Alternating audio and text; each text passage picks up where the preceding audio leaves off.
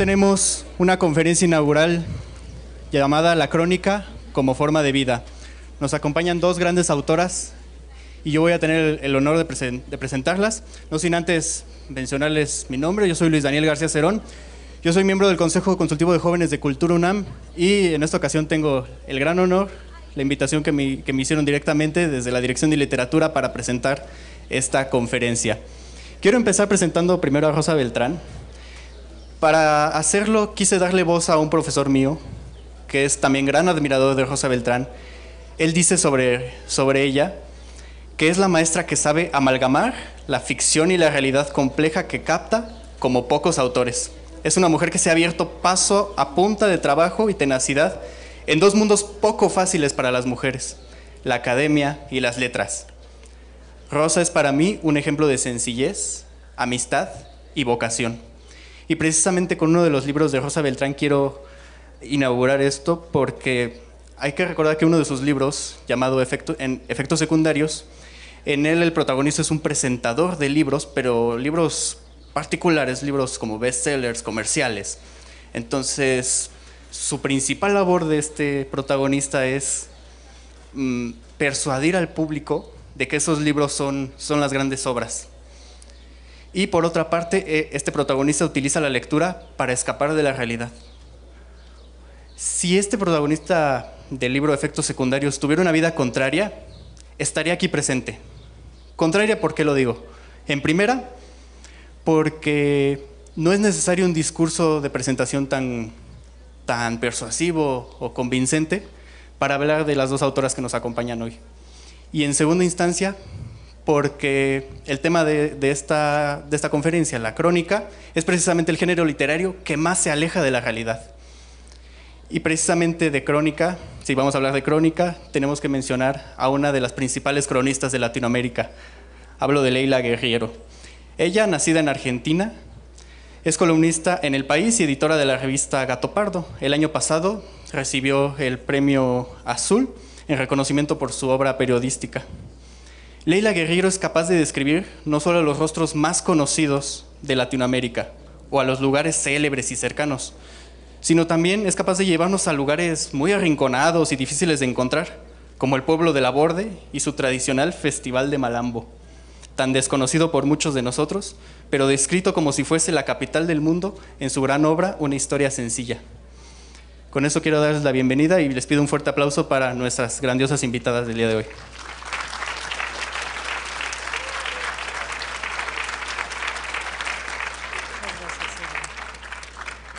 Muchas gracias, Edgar. Muy buenos días. Qué honor, qué gusto inmenso es tener a Leila Guerriero con nosotros aquí en la UNAM.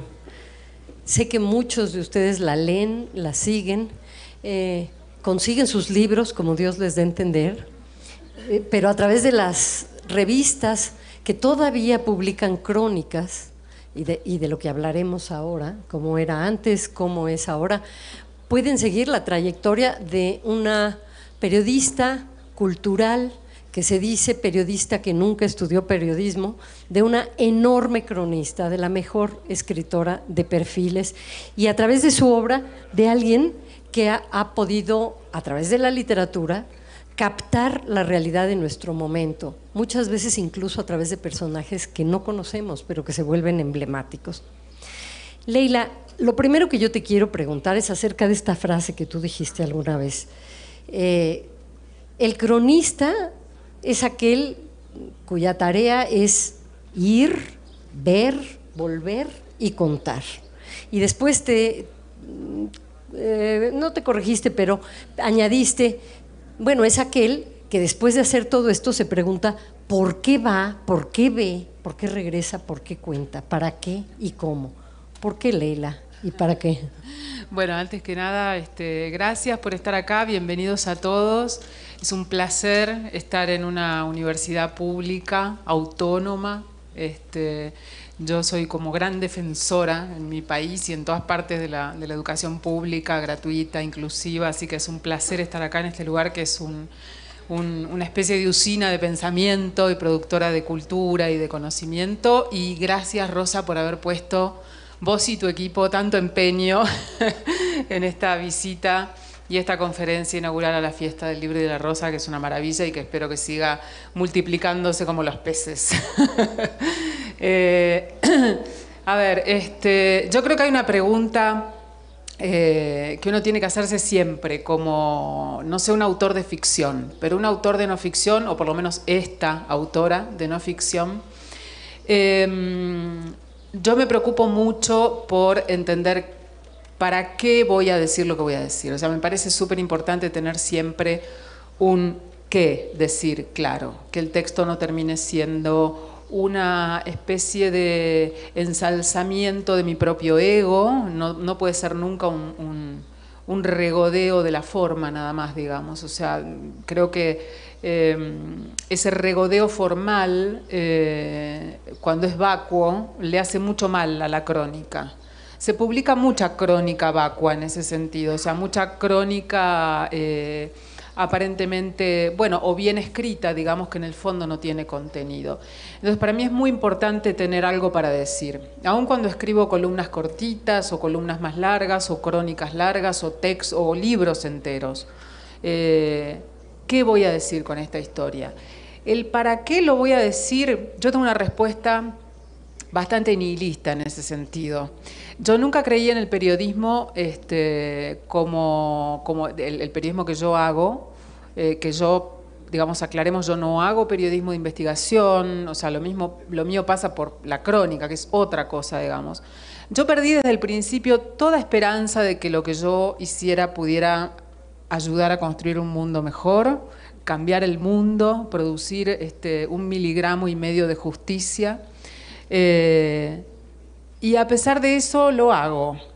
Lo hago porque creo que si al final de todo lo que uno escribe y todo lo que uno dice eh, cambia algo concreto y ese cambio es para mejor, bueno, descorcharemos champán o cerveza o vino o tequila o lo que cada uno quiera y festejaremos.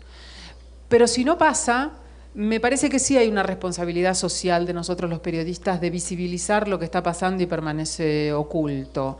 Eh, no solo temas oscuros o marginales o relacionados con, la parte oscura de la vida, eh, sino también, eh, digamos, todo aquello que pueda ser sorprendente, como la persona que nos presentó recién estaba mencionando un libro que yo escribí de un festival de Malambo en un pueblo muy pequeño que se llama La Borde, en la República Argentina. este festival, cuando yo me acerqué a este lugar, era un festival solo conocido por, por, la gente que baila este baile folclórico, que como les digo se llama Malambo, que es un baile súper exigente para el cual estas personas tienen que entrenarse durante años como si fueran atletas olímpicos.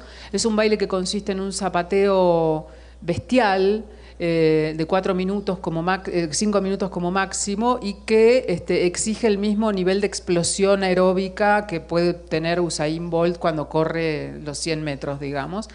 Em, y para esta gente consagrarse en ese festival como campeones eh, es como ser campeones del mundo. De hecho, el malambo es un baile típico de la Argentina, este festival es, un, es, como, es como el mundial del malambo, digamos. Este festival era muy poco conocido y, a mí me llamó mucho la atención de este pequeño sitio de la Argentina, me pareció muy conmovedor.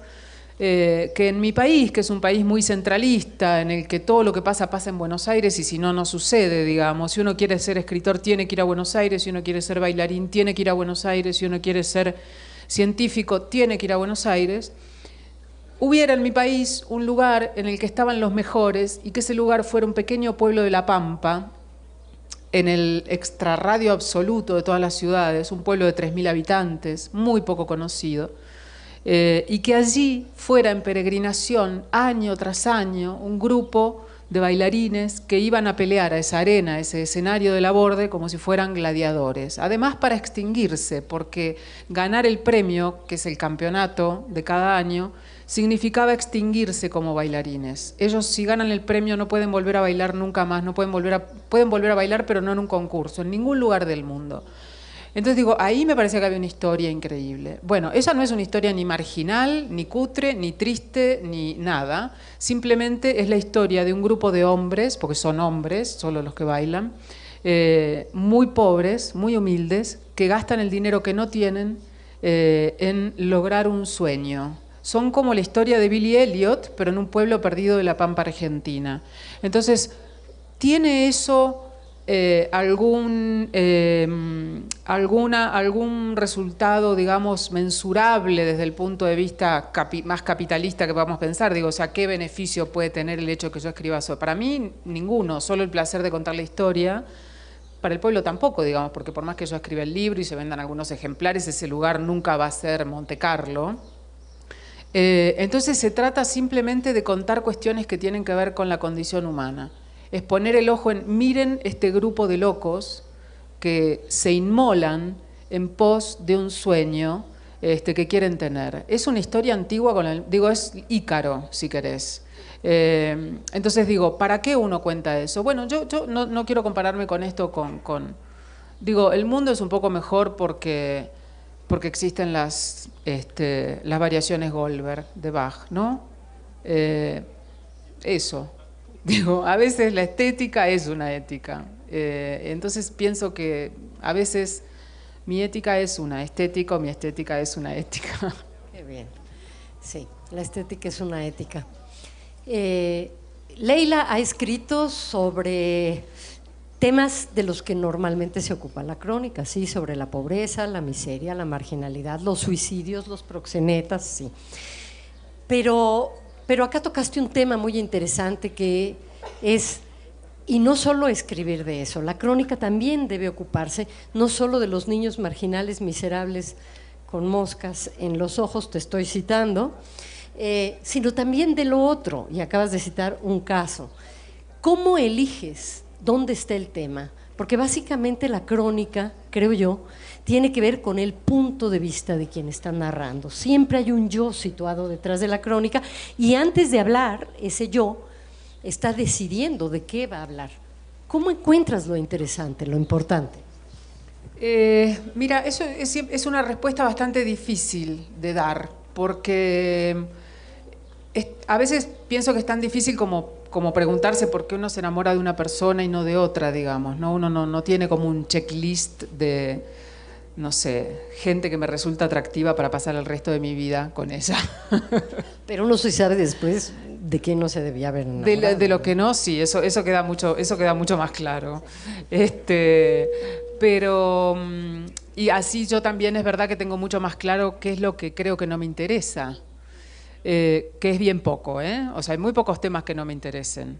Como vos dijiste, soy bastante omnívora en ese sentido. Yo he escrito sobre, este, qué sé yo, lo que vos decías, proxenetas, este, suicidios, eh, marginación total, cárceles, ¿verdad? Y también eh, un libro sobre un pianista que es uno de los 100 mejores pianistas del siglo XX, con lo cual eh, no hay mucho que parezca unir, no parece haber una materia coagulante, digamos, precisamente. o por, lo, por de pronto podríamos hablar de una materia coagulante un poquito esquizofrénica. Eh, alguna vez este, escuché que Javier Cercas decía algo así como que cuando uno escribe ficción o no ficción y elige un tema, lo elige porque en el fondo quiere decir algo de uno mismo, ¿no? Y yo creo un poco eso. Y se ve que yo tengo muchas cosas para decir de, mí misma. Eh, yo busco los temas, soy, como un radar que está lamentablemente para mí, digamos, porque es muy desgastante eso también, pero no tengo manera de bajar la palanca y decir, basta, siéntate, quédate quieta.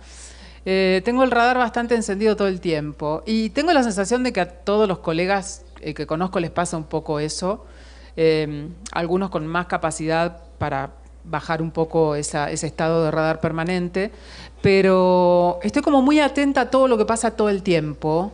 Eh, ¿Y cómo estoy atenta? Digo, estoy atenta en las conversaciones con la gente. Eh, yo tengo una conversación en Chile con un taxista, por ejemplo, que me dice, este país cuando estaba el tatita era una tacita de leche, siendo el tatita Pinochet. Eh, y, digo, yo de ahí eh, me quedo con la frase y le doy vueltas y la rumio y la dejo correr como una piedrita dentro de mi cabeza. Y después de pronto de eso sale una columna. Eh, o, voy a Colombia y estoy hablando con una señora que me está vendiendo algo en la calle y me dice una frase maravillosa que es, que así, aquí somos de costumbres. Y yo me quedo pensando, digo, ¿hay algún lugar en el que no seamos de costumbres? Y eso me lleva como... Em, digo, y también por supuesto estoy como muy eh, atenta a todas las cosas que están pasando en la región, en, en muchas partes. Eh, y soy como una gran depredadora de la prensa. Quiero decir, yo no soy una persona que busque temas debajo de las baldosas, cosas raras que nadie conozca. Es muy difícil que yo descubra un tema, quizás el primer libro, Los suicidas del fin del mundo, que contaba la historia de 12 personas muy jóvenes que se suicidaron a lo largo de un año y medio en un pueblo muy chiquito que se, llamaba, se llama Las Heras. Eh, y eran todos muy conocidos. Ese puede haber sido como un tema que estaba completamente soterrado y del que nadie hablaba. Eh, bueno, el, Festival de Malamo de la Borde también, digamos, pero era un tema que salía en los diarios, que cada tanto se, se, anunciaba que se hacía el festival y qué sé yo. Mi, yo creo que, que, lo, que lo, lo que yo puedo percibir en mí es que sí hay una voluntad de ir contra el lugar común y de ir a ver a la gente que ya fue como muy repasada por la prensa y tratar de decir yo sobre esto tengo todavía algo más para decir que no ha sido dicho, así como de omnipotente como suena, así de egocéntrico, asqueroso este, y narcisista como suena, eh, así de soberbio y así de altanero y así de altivo. Eh, tengo algo más para decir sobre esto sobre la dictadura argentina, sobre la clase alta, sobre el folclore, sobre este escritor, sobre esta fotógrafa, eh, sobre toda esta gente que fue muy publicada y a la que nadie, sin embargo, le preguntó eh, si conserva algún juguete de la infancia o qué hizo, este, qué pensó el pianista este el que te hablaba cuando a los siete años le dijeron, hijo, estás enfermo de poliomielitis y te vas a quedar paralizado. Eh, digo, eh, cosas que se dan como por naturalizadas en la prensa, que los colegas no preguntan a lo mejor porque les da pudor o porque no tienen el tiempo. Em, ¿Y dónde encuentro los temas? Bueno, soy muy, eh, miro mucha tele, leo muchos diarios y cuando veo algo que me interesa, lo anoto o si no, si es algo que veo en la web, por ejemplo, me imprimo la página. Ahora buscando una cosa insólita que ya ni me acuerdo qué era, eh, que no tenía nada que ver con esto, llegué a una historia muy, muy, muy tremebunda, muy sangrienta, muy espantosa que ocurre en el interior de la Argentina y que estoy dándole vueltas en la cabeza y diciendo, hace mucho tiempo que estoy trabajando en un proyecto, un libro muy largo y muy trabajoso, pero esto se metió como una cuña ahí en el medio. Me está llamando y estoy, estoy viendo a ver si puedo acceder a la persona que está presa y bla, bla, bla. Eh, y, todo eso lo voy juntando en una gran pila de recortes que tengo eh, junto a mi escritorio, que ya tiene como más de medio metro, digamos. Y cada tanto voy buscando, y esa es como mi mina, mi mina de oro. Eh, y las cosas que me, que me llamaban la atención hace 10 años no son las mismas que me llaman la atención ahora. O sea, esa pila de recortes también se reduce a veces. Hay una especie como de racia, digamos, con toda la antipatía que me genera esa palabra, eh, en la que tiro cosas y digo, ah, no, ya no, esto no. Por ejemplo, antes estaba mucho más interesada en todos estos temas este, muy marginales, muy oscuros, muy siniestros. Y eso ha ido cambiando y ondulando, digamos, ¿no? Estoy muy interesada ahora en las clases altas, el poder, todo eso, para, como decías vos, poner una mirada sobre eso, que no sea una mirada funcional, porque las clases altas, los poderosos, etcétera, por supuesto que salen en la prensa, pero salen en una prensa lamentablemente funcional a esos poderosos. El poderoso sale mostrando el nuevo cuadro de Rothko que se compró y que pagó 200 millones de dólares, no tengo la menor idea de cuánto sale un Rothko, ¿eh? estoy diciendo cualquier cosa. Eh, pero digamos, no, no hay una mirada aguda de un cronista agudo eh, sin querer decir con esto que, al, poderoso haya que maltratarlo, porque también es eso, ¿no? Cada vez que un, periodista eh, accede a un poderoso siniestro o no siniestro, simplemente un tipo con mucho dinero o tipa con mucho dinero, eh, hay una tendencia como decir, bueno, e, esto es, acá vamos a la aniquilación sin tratar de entender qué hay en la cabeza de ese sujeto, que, digo, también es un sujeto a comprender. Eso, eso es lo que a mí me entusiasma, tratar de comprender ecosistemas de la cabeza de la gente, ¿no? Cómo alguien se hace lo que es, por qué se hace lo que es, cómo se construye a sí mismo. Eh, entonces, bueno, no sé si respondo bien a tu pregunta, pero es un poco ese el, laberíntico camino de mis, de mis ideas. Espero que dentro de 10 años me estén interesando otros temas distintos y, mi, mi, pila de recortes se haya renovado. Este, preguntarte qué hay detrás de cada individuo a través de una estética que se convierte en una ética. Eh, es algo muy peculiar en tu trabajo. Gabriel Said dijo, y tú lo citas en algún momento, que cuando un periodista cubre un concierto, el concierto de un pianista, hablará seguramente de la ejecución y del concierto mismo, pero no tiene por qué fijarse en los calcetines del pianista. Y tú dices, no, hay que fijarse en los calcetines del pianista. ¿Qué quiere decir eso?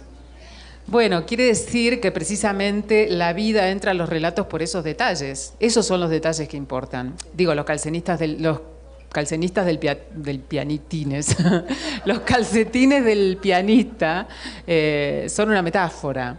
Eh, claramente. Yo creo que no, precisamente porque, porque creo que no hay una, no, no podemos Em, digamos, a mí no me gustan las especializaciones en el periodismo. a, digo, a mí me encantaría poder hacer buenas crónicas eh, de gente que hace deportes, por ejemplo, ¿no? O sea, digo, hacer una gran crónica o un gran perfil de, qué sé yo, Federer, suponte, o de Messi, o de... Son personas muy inaccesibles, entonces es difícil por eso hacerlo. digo, por eso es muy inusual hacer una cosa así con con alguien de tan alto rango. David Foster Wallace, que era un gran periodista norteamericano y un gran escritor de ficción, fue astuto porque en vez de hacer un perfil del primero del top ten de los, de los tenistas, hizo el del último, del número 283, creo. Y claro, el tipo era reaccesible, era muy, muy, muy sencillo. Entonces estuvo bien, digamos, porque con todo el, Y así todo es el 283 en un mundo que tiene 6 mil millones de habitantes, digamos, es mucho. No todos juegan al tenis, pero bueno, ese es un detalle. Eh, yo creo que los, calcetines del pianista precisamente tienen que, ver con no tener eh, una idea. Los periodistas siempre creemos que los cronistas deportivos se tienen que dedicar a hacer crónicas deportivas y con un lenguaje específico, que en general a los que no nos gusta el deporte no, no entendemos nada y terminan por no interesarnos. Los periodistas que se dedican a hacer música eh, creen también que escriben como para un nicho, entonces obvian todo detalle, todo contexto y se limitan a hablar del disco, con el, con del último disco que acaba de sacar, no sé, Fito Páez o Charlie García o quien fuere. Y uno se queda como fuera de, la cabeza de esa gente, digamos. Escribe como para un nicho. Creo que la crónica es lo contrario, es el reino del detalle y del contexto. Eh, no creo que a un pianista haya que mirarlo por el ojo de la cerradura de que es un pianista. Y eso es un poco lo que dice Said y eso es un poco lo que yo digo que no hay que hacer. Eh, si yo voy a hacer un perfil de una persona, sea cual fuere el oficio que tiene esa persona, escritor, plomero, carpintero, eh, ingeniero, florista, seguramente va a salir una crónica muy anodina, muy chata, muy, muy pobrecita, si miro a esa persona solo por el ojo de la cerradura del oficio que ejerce. ¿Por qué? Porque no voy a entender cómo llegó a eso, de, qué manera eso es o no es su vocación, eh, cómo entra en juego eso que hace con el resto de las cosas que hace o deja de hacer en su vida. Eh, digo, voy a estar mirando ese sujeto sin mirarle los calcetines. Entonces a eso me refería, hay que mirar el sujeto completo. Los calcetines son precisamente el detalle que va a ser que esa persona deje de ser una caricatura, una parodia de una persona, y pase a ser un, sujeto completo, con contradicciones, con, bondades, con vilezas, eh, que también esa es una idea como que a mí no me gusta nada, digamos, como eh, mostrar a las víctimas como víctimas perfectas, ¿no? Personas que son casi angelicales. Y yo siento que eso es casi como revictimizarlas, digamos, porque es no mostrarlas en, todas sus aristas y maravillosas contradicciones y a veces tremendamente este, feas contradicciones, lo cual no las hace menos víctimas. Y lo mismo con los victimarios. El problema con los victimarios es que los mostramos como monstruos. Miramos al victimario, no le miramos el calcetín. Entonces, cuando vos mostrás a un victimario, claro, si fueran monstruos, sería facilísimo. El problema con los victimarios es que se camuflan perfectamente. Si fueran monstruos, yo podría decir, miren, allá atrás hay un monstruo, metámoslo preso, hagámosle juicio antes que siga matando gente. No los vemos. Entonces, digamos, me parece que el lugar de la crónica es precisamente el lugar de encarnar al monstruo y de encarnar a la víctima. Eso, de mostrarlos no por el ojito de la cerradura de sos monstruo, sos víctima, eh, sino abrir el foco de la cámara y mostrar todo. Los calcetines, la pintura de la uña y el lunarcito que tiene en la oreja. Oye, em, hay una, una frase que se ha vuelto lugar común que dice que, el género que más interesa en este momento es la crónica, que hay un auge de la crónica. Eh, por una parte sí creo que eh, los lectores, no solo los lectores jóvenes, los lectores en general, porque nosotros en la universidad publicamos colecciones en los distintos géneros, tienen una necesidad de saber dónde está la verdad. No sé si la van a encontrar o no, si la vamos a encontrar o no, pero es un hecho que ya no está en las instituciones, que no está en la familia, que no está en la prensa, que no está en los lugares donde solía estar. Y por, alguna razón existe la fantasía de que en la crónica va a estar. Quizá esa razón tiene que ver con que la crónica tiene que estar afincada en un hecho real, que lo único que no puede permitirse es inventar eh, pero tú has hablado de que si esto fuera cierto, también hay una paradoja porque no hay tantos medios donde publicar crónicas. ¿Cómo es esto? ¿Cómo ha sido la trayectoria de la crónica en los últimos años? Sí, es, paradójico, sigo pensando que es paradójico y sigo sin tener una respuesta clara para eso. Yo creo que si miramos hacia atrás, eh, yo diría que hace 10 o 15 años el panorama de la crónica era bastante desolador en términos de que había muy poca gente haciéndola. Eh, en cada país había uno o dos cronistas, digamos, y, no había como medios a nivel eh, regional que trascendieran las fronteras. No, no. Eh, hoy en día un cronista argentino publica en una revista mexicana, un mexicano publica en una revista argentina, un peruano publica en una revista uruguaya. hay un trasvasamiento, hay una, una, conexión. Y creo que si hay algo que em, eh, identifica a la crónica latinoamericana y por ahí es lo único que la identifica, porque creo que la variedad de temas y de voces y de posturas es muy diversa, es su vocación de ser latinoamericana, de no tener fronteras. O sea, me parece que no se puede pensar el fenómeno de la crónica si se lo piensa país por país. Si uno lo piensa país por país, lo que va a encontrar es ese mismo panorama desolador que había hace algunos años, porque hay en cada país pocos y pocos medios. Pero si lo mira a nivel latinoamericano, creo que ese panorama cambia por completo. Por esto que te digo, por estos vasos comunicantes que hay hoy a cualquier cronista de, no sé, 30 años, vos le preguntás cuáles son los cinco cronistas mexicanos o los cinco peruanos o los cinco chilenos y te va a dar más de cinco nombres, digamos, que le interesan o los que lee, etcétera. El punto es dónde publican estos cronistas. Siguen publicando en pocas revistas, esas pocas revistas que se publican tienen siempre grandes problemas este, financieros, no dejan de estar allí, no dejan de surgir, surgen en todas partes, este, aparecen y desaparecen, hay muchísimas páginas, revistas web, digamos, que se dedican, que se dedican a publicar crónica, eh, algunas más locales, como Anfibia en la Argentina, por ejemplo. Em, y otras no, no, no, tan, no tan locales. Pero yo creo que en los últimos años, em, después de que habláramos de este auge del que yo desconfío, digamos, de la crónica, no, no, no porque no haya buenas cosas haciéndose, sino porque em, para mí un auge es eh, gente ávida, corriendo a comprar los libros de crónicas o revistas de crónicas sin problemas financieros, digamos. Eso es auge y eso no es lo que está, lo que está pasando, eh, pero sí veo y, compruebo porque viajo mucho por la región y porque, porque veo muchos estudiantes interesados en escribir crónicas, gente interesada en tomar talleres, en capacitarse. Claramente toda esa gente no se está capacitando para un oficio en extinción, digamos, o sea, no, no son tan bobos como para gastar su dinero y su tiempo en algo que, por lo menos que sospechan que se va a extinguir, no creo, al contrario. Eh, y ahora hay muchísima más gente haciéndolo que hace algunos años.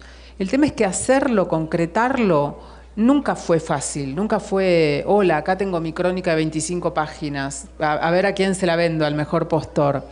Eh, los espacios siempre fueron pocos y yo me imagino que van a seguir siendo pocos, porque creo que la crónica eh, tiene algo en común con, la literatura de ficción, digamos, eh, y es que no es un fenómeno de bueno, con cierta literatura de ficción, no toda, eh, que no es un fenómeno, masivo, no es un fenómeno de masa, me parece que es un fenómeno de nicho, pero eso no quita que sea un fenómeno, digamos, me parece que al ponerle boom o auge se la está como traccionando, llevando a un lugar que la crónica ni siquiera necesita, te diría.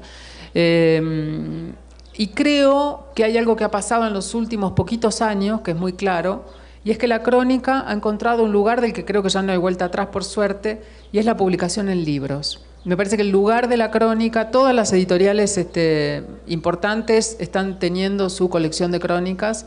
Anagrama va a sacar un premio, o sea, va a sacar, perdón, ya lanzó y en breve cierran la inscripción a un premio de crónica cuyo ganador se anunciará este año en la Feria de Guadalajara, acá en México.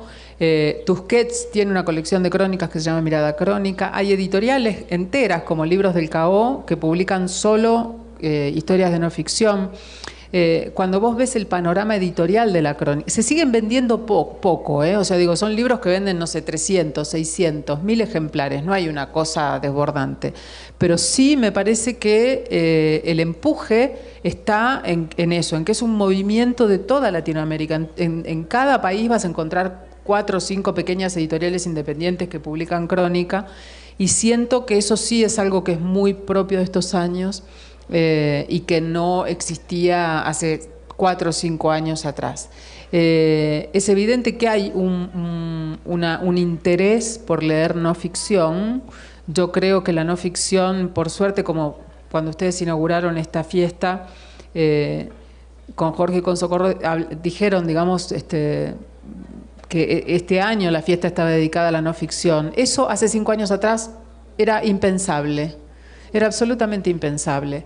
Eh, y me parece que eso está empezando a pasar, que el, lugar de la no ficción de calidad está este, compartiendo eh, espacio con la literatura de ficción de igual a igual, y eso tiene que ver también con eh, el hecho de que ha cambiado para, la generación, para mi generación y las que vienen atrás, creo, algo así como el paradigma del camino del, prestigio o de la consagración, digamos, que es algo en lo que yo no pienso jamás, digamos. Como dice mi amigo Frank Baez, lo mejor es no tener prestigio para no tener nada que perder, y yo estoy muy de acuerdo con eso. Lean a Frank Baez, es un gran poeta dominicano.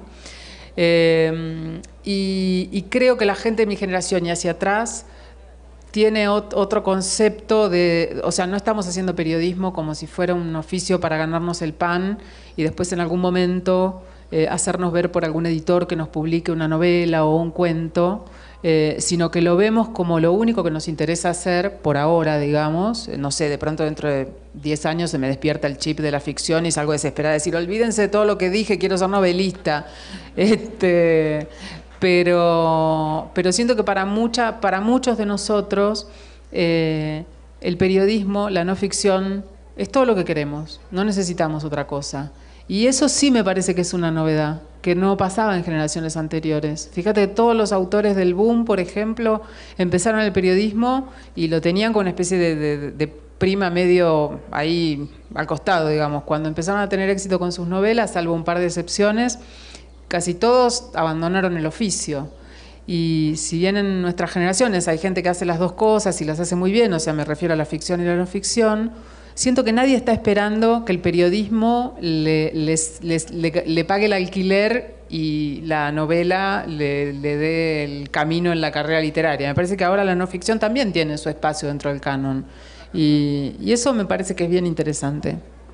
Hay un autor que nosotros reeditamos editamos por primera vez en México, pero reeditamos porque su obra original es del 57 y que tú has mencionado repetidamente, que es Rodolfo Walsh. Publicamos Operación Masacre. Ha sido un trancazo. Se agota la edición. Ahora, muchísimos años después. Y Rodolfo Walsh, como sabes, escribe cuento, escribe ficción, eh, y de pronto se encuentra con esta historia que le dicen del fusilado que vive, se dedica a hacer eh, la investigación. Y cuando habla de este material, esta serie de personas que estaban eh, escuchando un partido de Vox en realidad y que son tomados presos y van a ser fusilados, la gente le dice, pero tienes una gran novela, ¿por qué no escribes una novela con eso? Y él se empeña y escribe la primera obra de no ficción anterior a Truman Capote. ¿no? ¿Te ha pasado a ti que, uno, eh, algo que estás investigando te sugieran tus editores o alguien que conviertas en ficción? O dos, que te encarguen concretamente que vayas y busques un material para escribir una crónica? Eh, que mis editores me, encarguen, que yo haga un tema por encargo, digamos, de crónica. Eh, sí, eso me pasa seguido y, muchas veces lo cuando me, cuando me interesa, sobre todo cuando siento que no lo puedo hacer, lo acepto. O sea, claro, cuando, cuando siento, no, esto va a ser un, es muy difícil, o sí, a mí me encanta que me encarguen cosas. ¿Cómo, que fue muy y, difícil? Por ejemplo, este, hace unos años, Diego Fonseca, que es un argentino que vive en Estados Unidos, me encargó una crónica para un libro que le estaba haciendo eh, en el desierto norte de Chile, cerca de Copiapó, eh, donde había todo un tema. Eh, era súper enrevesado. En esa zona, que es un desierto no hay agua. Eh, y, hay gente, digamos. Entonces hay pequeños pueblos y este, este, lugar es un lugar de desarrollo fuerte de dos cosas. Por un lado, de mineras, eh, que para la extracción del metal necesitan de muchísimo consumo de agua, y por el otro lado de vides, o sea, viñas, que son vinos de altura y que se están este, y producción de ciertas frutas también. Entonces, digamos, entre la extracción de agua que necesitan las minas y, la, y, la, y las vides, eh, hay prácticamente una especie de guerra mundial por el agua. Eh, y era complicado porque, porque en principio tenía que tener yo información de un montón de cuestiones técnicas, eh, de por ejemplo, qué sé yo, cómo, había, que, hacer, cuando uno tiene una crónica con tantos... líneas narrativas, digamos, pues están las mineras, la población, este, y, los, los, viñateros. Eh, entonces tenemos como uno, un superpoderoso, las mineras, otro que es más o menos poderoso, que son los viñateros, y la gente. Entonces, ¿cómo coordinar esas tres líneas narrativas? Tienes que hacer eje en algo, porque si no terminas haciendo una catástrofe. Además, yo iba sola, eh, me alquilaban, me alquilé un auto cuando llegué al aeropuerto, este, me dio el auto, el tipo me dio las llaves y el auto descubrí que tenía la palanca automática. Yo había manejado un auto automático a los 12 años, la última vez en mi vida. Entonces me dio una clase de manejo en la sala de, ahí, en, en, el estacionamiento del aeropuerto. Y yo con ese auto automático tenía que subir a la cordillera sola. O sea, tenía que hacer 100 kilómetros de subida y 100 de bajada por el abismo todos los días.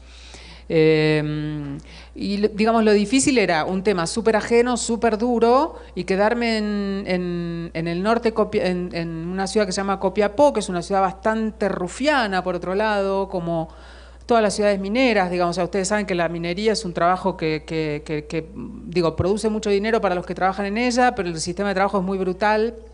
Entonces los trabajan casi todos hombres y cuando bajan al pueblo es una especie como de manada que baja desesperada por sexo y por, por, digamos, no, es el mejor de los climas para una chica sola con un auto con una palanca automática, para decirlo sencillamente. Y yo no soy nada miedosa, cero, a mí esas situaciones me estimulan, me siento crecer, pero me encantan. Eh, pero, pero era una situación complicada desde el punto de vista narrativo. Y le dije que sí, por supuesto. Y hice muchísima preproducción y cuando llegué a... Eh, digo, son esas cosas increíbles que digo, yo salgo de Buenos Aires, tomo 10 aviones, llego a Copiapó, me subo a mi auto con palanca automática y sé que al otro día a las 2 de la tarde tengo la entrevista con el señor. O sea, digo, yo soy súper precisa con eso, no me largo a, ver, yo ya tenía más o menos pensado, pero eso es difícil y eso me encantó que me lo, que me lo, que me lo encargaran. Em, bueno, y así otras cosas, esa es la que recuerdo, digamos. No es lo que más me pasa, generalmente soy yo la, que propone cosas, pero mm, me reía cuando me preguntabas lo de si alguno me había sugerido que lo novelara. Eh, sí, me pasó con los suicidas del fin del mundo. Yo en realidad nunca le cuento a nadie de qué estoy hablando, pero cuando yo con ese libro tenía pensado escribir una crónica para la revista Rolling Stone y vino la crisis del 2001 en la Argentina y el editor de Rolling Stone, a quien adoro, que en ese momento se llamaba Víctor Hugo Guita, me llama y me dice, Ley, no te podemos mandar, no tenemos plata. O sea, no te podemos comprar los pasajes, no nada. Le dije, bueno, no te preocupes. Yo, a mí me, yo había descubierto la historia, la quería contar y empecé a ir por las mías. Estuve como dos años yendo Eh, y yo era como muy cuidado, siempre soy muy cuidadosa, nunca cuento en lo que estoy trabajando, pero en este caso en particular era tan, tan, tan tremendo lo que estaba pasando, que a mí me parecía insólito que no hubiera como un canal de televisión sensacionalista mandando móviles, y, yo sabía que eso me iba a arruinar a mí, no, no porque tuviera miedo que me quemaran el tema, porque eso me da igual, eh, sino que tenía miedo que toda la gente que se había, con la que yo me había tomado meses, uno no llega a la casa de una persona que la hija se le colgó con el cinturón de la cama del cuarto y le pregunta,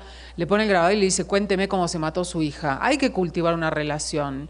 Y por ahí ni siquiera en el primer viaje, uno no llega a la casa de eh, eh, la familia de padres evangélicos que siguen llorando la muerte de su hija y le pregunta, cuénteme cómo su hija se voló la tapa de los sesos con una escopeta en el cuarto de su casa. No es así como funciona.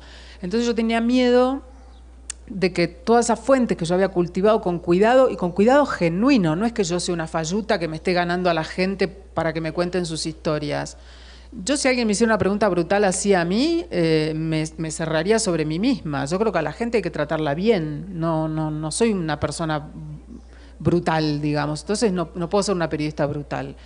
Eh, pero cuando terminé ya toda la investigación, eh, un, editor al que yo amo, que se llama Elvio Gandolfo, que es uno de los grandes este, escritores argentinos, probablemente el secreto mejor guardado de la Argentina, gran cuentista, junto con Eve Uart. Em, me dijo, no, Leila, vos no puedes hacer un artículo con eso. Me dijo, con mucho menos, Truman Capote hizo a sangre fría, tenés que hacer un libro. Y ahí fue como que, cling, y entonces empecé a pensar en hacer un libro. Y ahí fue cuando esta idea de hacer el libro llegó a oídos de otra persona, un gran escritor argentino al que yo conocía, y me dijo que de ninguna manera era un gran editor, yo tenía que escribir un libro con eso de no ficción, que yo tenía que hacer una novela. Y me insistió mucho y de hecho le había puesto nombre eh, un nombre que no era las eras al pueblo, le había cambiado el nombre, él me sugería como que, y que qué tal, que si el funebrero en realidad eh, tenía relaciones con la chica que se había matado y por eso la chica se había matado y qué sé yo. Y yo lo escuchaba y salía de esas reuniones como, como, bueno, en reuniones, lo iba a ver porque éramos como con pinches y tomábamos café y todo esto, pero salía como muy angustiada y deprimida y no podía entender cómo este hombre no se daba cuenta de que en un pueblo de la Patagonia, que es la Patagonia central, yerma, desierta, espantosa, como la tundra, digamos, que no es ni turística, que es el interior de la Argentina, en un pueblo petrolero, con más prostíbulos que iglesias, en el que la gente se gastaba el sueldo en prostíbulos y juego y clandestino y qué sé yo. Eh, en el que las familias, la única salida de fin de semana que tenían era ir en familia a tomar café al prostíbulo, porque no había bares, eh, y que en esa situación social, un pueblo petrolero, eh, cuya población aumentaba a 16.000 habitantes cuando el precio del petróleo estaba bien y bajaba a 3.000 cuando el precio del petróleo bajaba. Y en ese pueblo se habían matado 12 personas en un lapso de un año y medio. El último suicida se había colgado de un cable de la luz el 31 de diciembre de 1999, y en el cual todos los otros nombres de todos los chicos, que todos eran muy jóvenes y tenían entre 17 y 25 años, eran súper conocidos en ese pueblo. O sea, como si les dijera el gran jinete del pueblo, el bañero del pueblo, el hijo de... el huerfanito del pueblo que viera que mi imaginación podía agregarle a ese desastre real algo que superara el hecho, no hacía falta agregarle una sola gota. Entonces sí, digamos, me, han sugerido y creo que después de que, de que vio no le di ni cinco de pelota, pobre, este, y no le dije tampoco que estaba escribiendo el libro y simplemente se enteró de que había publicado el libro y me dijo, ay, te felicito, vi que lo... Sí, sí, gracias. no te hice caso. gracias por el consejo. Además de crónicas, sobre todo Leila es autora de perfiles, de los perfiles más insospechados.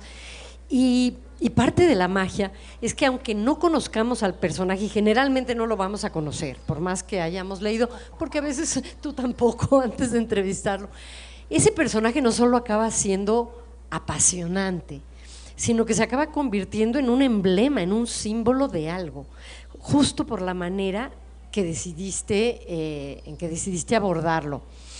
Eh, uno del que sí sabemos, más o menos sabemos, pero yo les recomiendo que igual vayan y compren el libro, es por ejemplo Daniel Divinsky.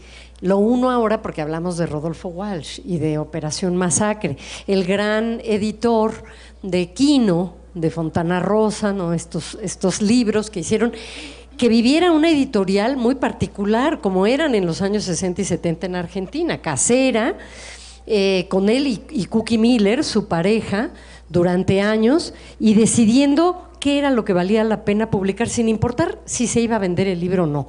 Kino habrá vendido mucho, Walsh habrá vendido mucho, pero hubo autores de los que no se vendía, pero que son extraordinarios de culto.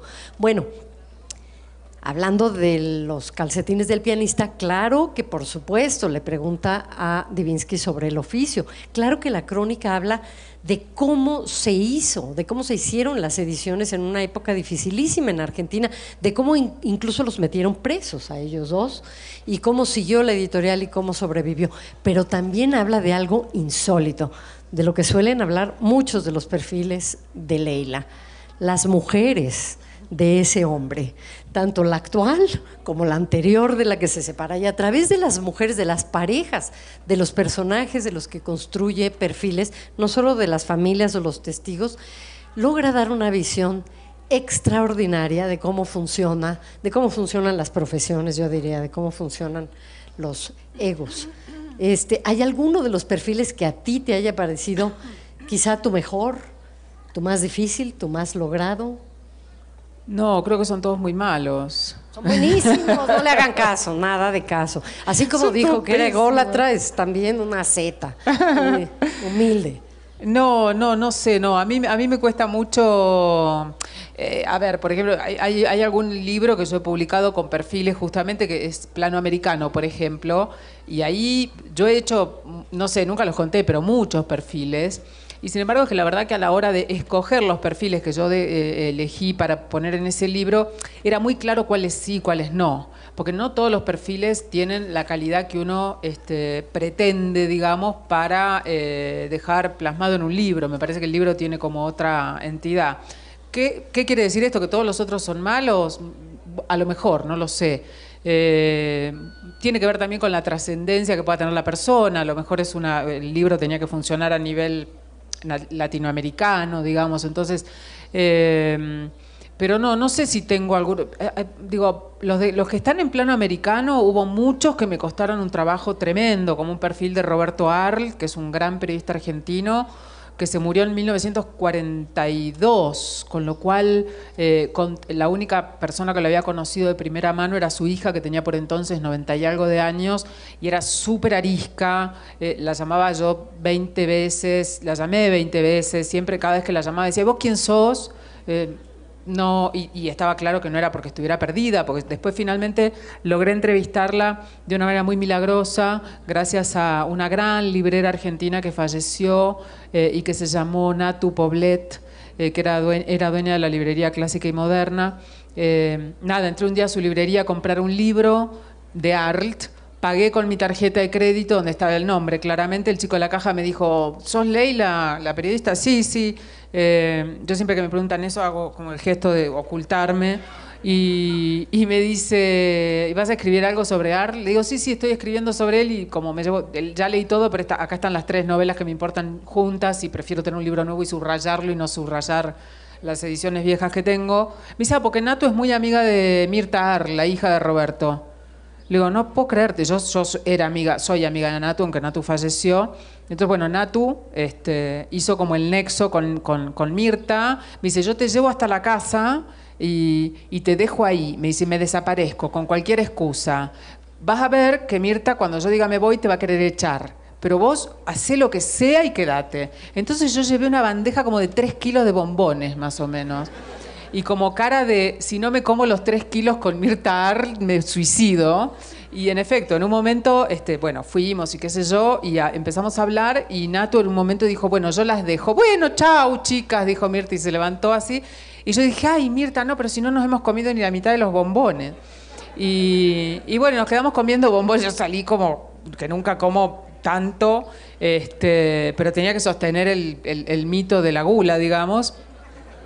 Y, me quedé como tres horas hablando con ella y al final ella me quería dar plata para que yo me tomara un taxi de regreso. Bueno, volví al día siguiente y qué sé yo, pero fue re difícil porque eh, Arlt, eh, la, gente que había escrito sobre Arlt, solo eran unos autores como, no sé, Alan Pauls, David Viñas, Ricardo Piglia. Yo estaba aterrada antes de empezar a hacer ese perfil, porque yo, una pobre periodista, la que no conoce ni Mongo, me voy a poner a escribir sobre este tipo, sobre el que han escrito solo genios, digamos. Y después me dije, yo soy una periodista, no puedo dar una mirada de un crítico, voy a escribir como periodista. Y fue una buena decisión, digamos, la única decisión posible.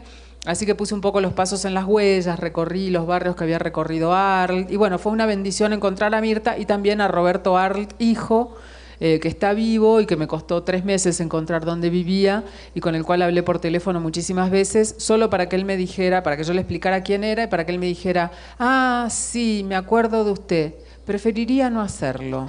Entonces, como, pero me sirvió maravillosamente, porque ese es un, un estribillo que se repite a lo largo. El hijo de Arl tiene un, un, un pequeño o grande, no lo sé, porque nunca pude hablar con él más que eso, retraso madurativo. Eh, digamos, me imagino que también quería como precaverse de, exponer, no lo sé, la verdad que no lo sé porque el único diálogo que tenía con él era, hola, soy la periodista que está escribiendo sobre su padre, me gustaría hablar con usted.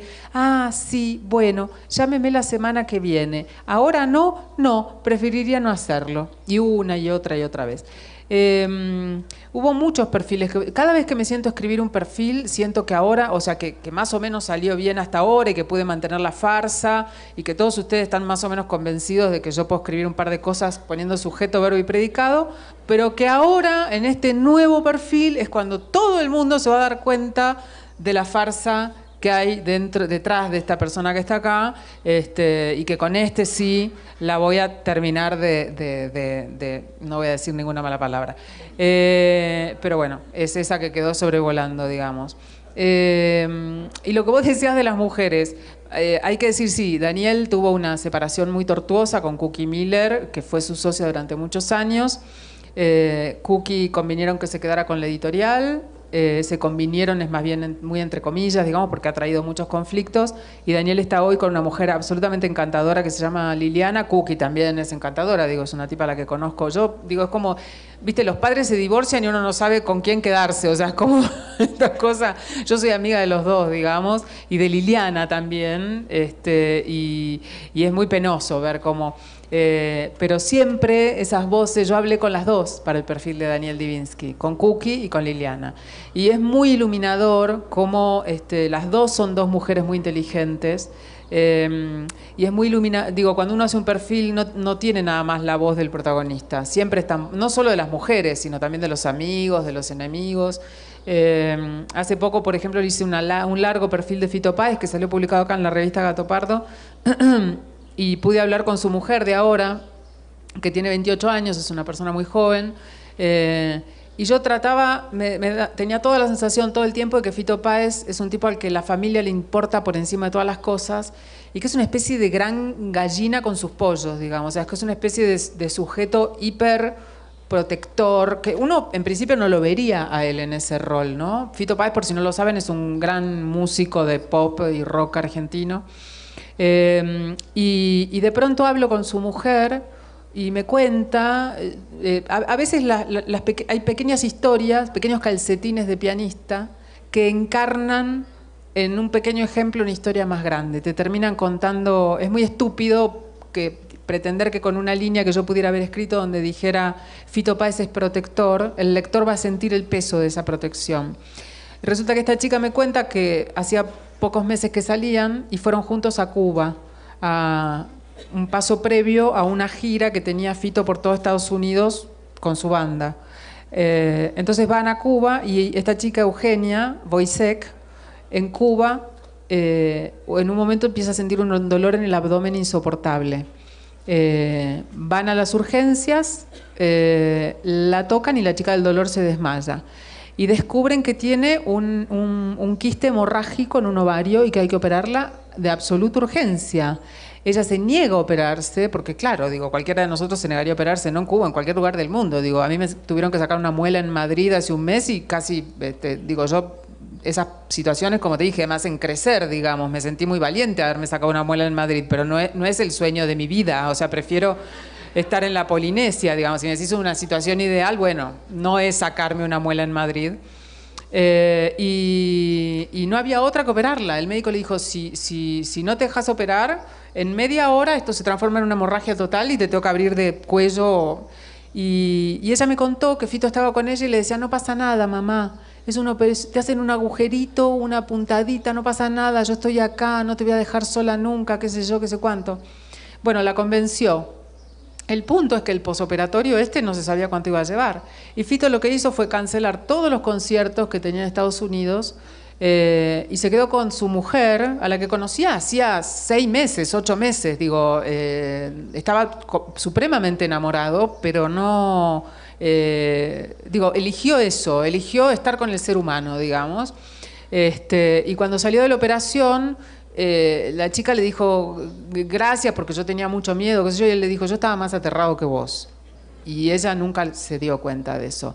Entonces, digamos, esa pequeña anécdota, esa, pequeña historia de Eugenia, que es la mujer de Fito, eh, me sirvió a mí para contar con una cosa concreta, como este hombre, que también tiene costados menos simpáticos y mucho más este, complicados, digamos, funciona en relación a su familia, a su entorno íntimo, ¿no? cuidándolos bajo el ala, o sea, poniendo, poniendo, poniendo eso por delante de, qué sé yo, los miles de miles de dólares que se hubiera ganado haciendo la gira. Yo no quiero que se termine esta charla sin hacerte la última pregunta, que tiene que ver con el papel de los medios ahora. Eh, los gobernantes populistas atacando a los periodistas, los periodistas devolviendo con saña, eh, a veces comentarios no tan fundados, las fake news volando por todos lados, y eh, los medios muy determinantemente ocupados de los likes, del número de usuarios, más que de las notas. ¿De qué manera esto tergiversa el papel del periodismo? ¿Cómo te lo explicas? Sí, este, te agradezco que no me hayas preguntado cómo se soluciona. Sí. Pero, pero Porque no si tienes alguna pista, también te lo agradezco. Tengo una, tengo una pista y no, pista, pista, no sé si tengo, pero sí estoy muy, muy, muy, muy, muy enojada con toda esa situación. Eh, me, da mucho espanto ver cómo los periodistas pasamos de ser los héroes como Rodolfo Walsh, eh, digo, y todos los periodistas que en este continente se han no digo, vuelvo a decir, para mí, digo, el periodismo no tiene por qué ser un lugar de inmolación, nadie se tendría que morir haciendo periodismo, eh, pero sí que eh, hemos sido como la, parte buena del asunto durante, y ahora somos los canallas, digamos, ¿no? Entonces esa parábola a mí me llena de, impresión y, tengo algunas explicaciones de por qué ha pasado. Eh, vos mencionabas esto de los, los, gobernantes populistas señalando a los medios como fuente de todos sus... Es una estrategia estupenda, es encontrar un enemigo claro y dirigir la, la, digamos, la, mirada de la gente hacia eso. Ellos tienen la culpa de todo lo que nos pasa a nosotros, ellos son operadores y qué sé yo. Ahora, ¿cómo responden los medios? Porque los medios tampoco son santos, digamos. los medios tienen intereses, manipulan información. ¿Cómo han respondido los medios a eso? Yo siento que es lo mismo que si alguien me acusara a mí injustamente de ser una persona violenta y yo no lo fuera, y para demostrar que no soy, violenta salgo con un bate de béisbol a la calle y le rompo la cabeza al primero que pasa de bronca, eh, porque creo que los medios reaccionaron de una manera muy, muy absurda, que es dándole más argumentos a los poderosos para reafirmarlos en esa este, idea de que los medios mienten, etc. Reaccionaron, eh, no haciendo el buen y viejo periodismo de toda la vida, que es chequear el dato, no publicar cosas sin, tener la información precisa, eh, sino poniendo un título, por ejemplo, sesgado, eh, y después a la hora de leer una noticia vos te encontrás con que la noticia, el contenido es otra cosa, contradice al título. Y ya sabemos que la gente tiende a leer los títulos, digamos, y no la noticia. Eh, reaccionaron no publicando cosas que podían este, hacer que la realidad no encajara dentro de la tesis o teoría que a ellos les interesaba que encajara. Eh, reaccionaron confundiendo información con editorialización, digamos. Hay una diferencia enorme. Si yo estoy haciendo una pieza periodística, no ese es el momento de opinar. Eh, reaccionaron publicando larguísimas notas en las que se lee una sola voz de todas las posibles voces involucradas. Eh, entonces, no todos son así, pero muy buena parte de los medios ha reaccionado de esa manera y como te digo, siento como que retroalimenta ese caudal de ataques por parte de los gobiernos populistas, de los poderosos, etcétera.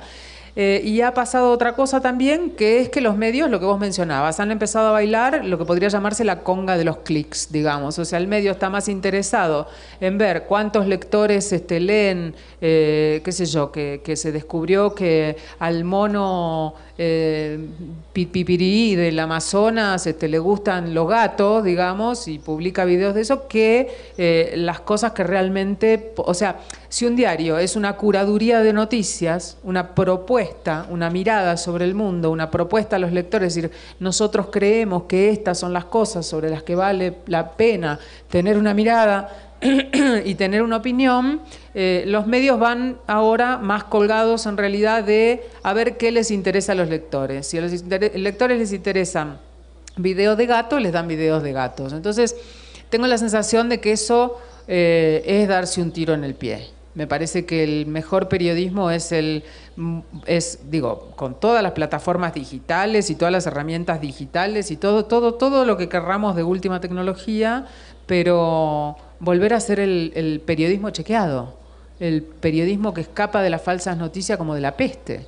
Este, así que eso, creo. No es tan difícil, es volver a hacerlo como lo hacíamos antes, ¿viste? Hoy en día te dan una tarjeta electrónica para entrar en, una, en un departamento de última generación, se corta la luz, te quedas sin calefacción, no puedes cocinar, no puedes entrar a tu casa. Entonces digo, la opción analógica siempre vale la pena tenerla a la vista. Eso.